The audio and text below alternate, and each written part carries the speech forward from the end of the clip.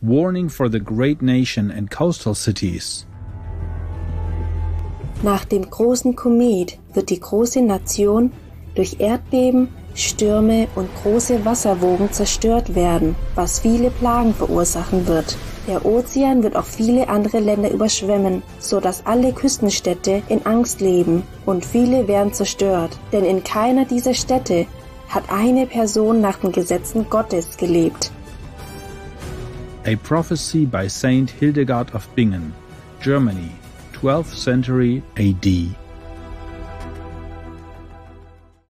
Have hope in God and do penance.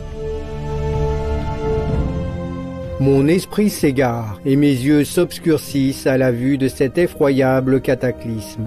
Mais, me dit l'esprit, que l'homme espère en Dieu et fasse pénitence, car le Seigneur Tout-Puissant est miséricordieux et tirera le monde du chaos et un monde nouveau recommencera.